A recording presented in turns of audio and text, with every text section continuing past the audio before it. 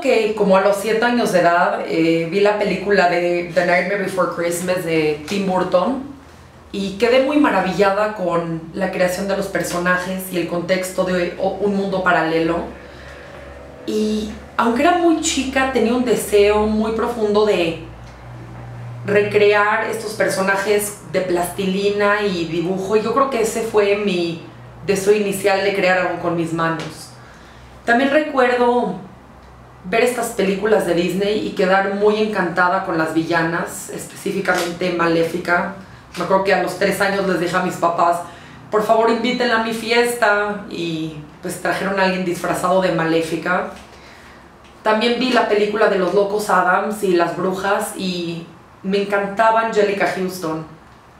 Y creo que estos personajes oscuros me llamaron la atención por su, su capacidad psicológica de jugar con el espectador, este, estos aspectos místicos, mágicos, y empecé a esbozar este tipo de cosas en mi obra.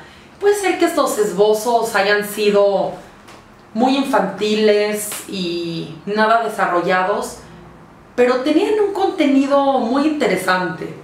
Bueno, y más adelante, este, bueno, acabé yendo a la Academia de Arte de Nueva York, el Art Students League of New York. Fue una academia muy realista, muy académica. Tuve maestros muy profesionales y creo que todas mis bases muy sólidas las aprendí ahí. Pero más adelante decidí alejarme de eso y de poder desarrollar mi obra personal que tiene una tendencia a irse a un lado un poco más surreal, por decirlo así. El obstáculo más fuerte ha sido la decisión de si permanecer 100% académica o si de romper con esa academia y encontrar mi voz personal dentro del arte. También yo siento que pues, he tenido que sacrificar tanto tiempo social, que es algo que disfruto, pero es una carrera tan demandante y desgraciadamente se te va todo el día en eso. El querer transmitir emociones tan profundas en mi obra requiere de todo el día estar pensando en eso y de estar muy enfocada. Después de haber estudiado en el Art Students League siete años, este, decidí que la única manera de encontrar mi voz personal era alejándome de las visiones de mis maestros y de sus concepciones de arte y encerrarme en mi mundo personal. Me vine a la Ciudad de México, donde abrí mi estudio y me encerré en mi mundo. Empecé a explorar los bocetos que hice preacademia en mis años como adolescente y un poco antes de entrar a la escuela de arte.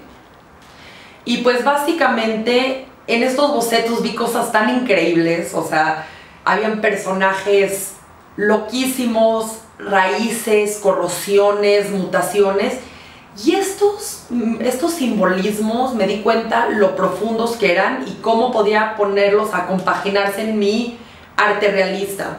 Y es ahí donde empecé a generar este género de realismo mágico, donde hay cosas muy realistas, pero por otra parte hay cosas muy surrealistas y mágicas. Una de las obras más representativas de ese estilo sería mi cuadro de Hell in Heaven, donde puse a Ronnie James Dio, el fundador de la banda Hell in Heaven, uno de los fundadores del metal, fue cantante de Black Sabbath. Lo dibujé completamente realista, pero en un entorno completamente mágico. Ves mis personajes esquizofrénicos, las raíces, el infierno, el paraíso, poco con influencia del bosco, pero de una manera contemporánea. Y es muy claro que se entiende en esta obra, pues, esa idea del realismo mágico. De mis inspiraciones más fuertes definitivamente es la música. O sea, constantemente mientras yo trabajo estoy escuchando tantos diferentes géneros, por ejemplo, metal, goth rock, rock progresivo, música clásica, ópera. Por otra parte, también tengo muchos pensamientos ligeramente obsesivos. A veces tengo conversaciones reales que sucedieron con personas cercanas, donde en mi mente los lo recreo y los analizo en diferentes ángulos. Y por otra parte, también conversaciones poco imaginarias que llegan a escalar a un aspecto ideal que a lo mejor no serían totalmente reales.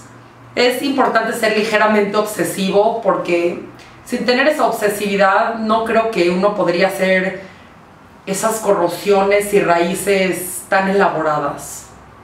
Me acuerdo cuando fui con mi hermana a ver a Philip Glass tocar en el Metropolitan Museum of Art. Estábamos en el aula egipcia y ahí dio un concierto muy privado como para 100 personas.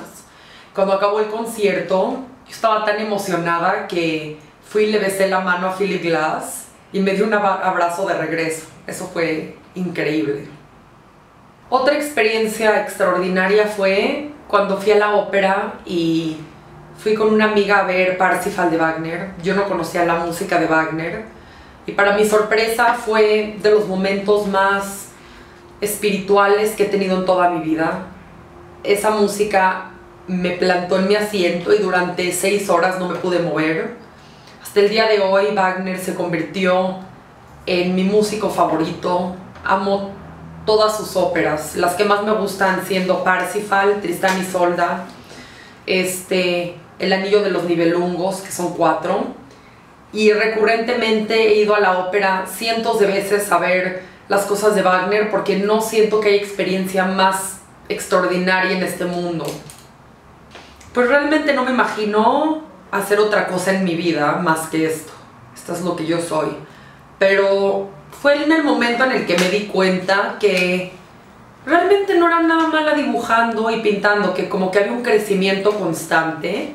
La mayoría de mis días me dedico a trabajar. Este, en los días que trabajo me gusta levantarme 7, 7 y media. Es muy importante que antes de ponerse a trabajar te sientas muy enfocada y muy bien. Y por eso insisto siempre en tener un buen desayuno. Siempre me voy a la sala con mi café, me siento junto a la ventana, que me dé un poco de sol, esa es la vitamina D, que tengo un poco de deficiencia por eso mismo.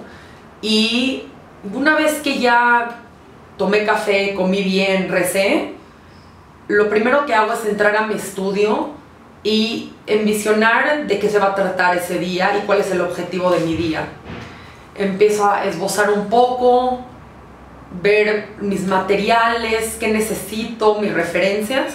Y una vez ya enfocada me siento, pongo música y todo el día entero me dedico a trabajar. Un día ideal sería trabajar de 9 a 5 de la tarde sin interrupciones. Eso para mí es un día muy bien servido y ya terminando, este, me gusta a veces echarme una copa de vino, dedicarme a estar con mi esposo, algo social. Y en los días donde no estoy trabajando, doy clases. Tengo una academia de arte realista en mi casa y en mi estudio. Y acá yo les doy bases muy, muy sólidas de anatomía, de dibujo, de pintura y pues esa es la mayoría de mi rutina.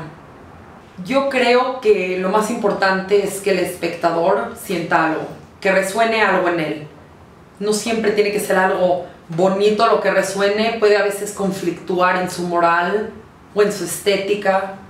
Me gusta que el espectador cuestione cosas profundas de la vida, de la psicología humana. Me gusta transmitir emociones hablar de la dignidad humana, de los tejidos sociales, de la moral.